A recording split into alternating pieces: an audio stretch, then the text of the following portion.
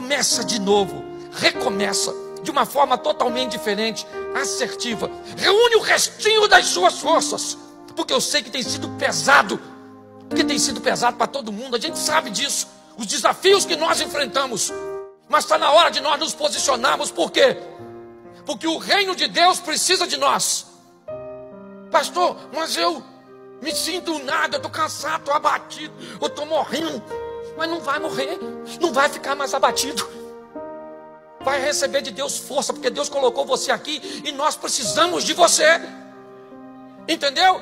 Ah, pastor, mas onde eu estava, puxaram meu tapete. Então, passa a andar no chão, sem tapete embaixo. Eu quero ver alguém puxar. Somos nós que vamos fazer. Somos nós. Deus colocou você aqui. Fale com Ele. Descubra qual é o seu potencial.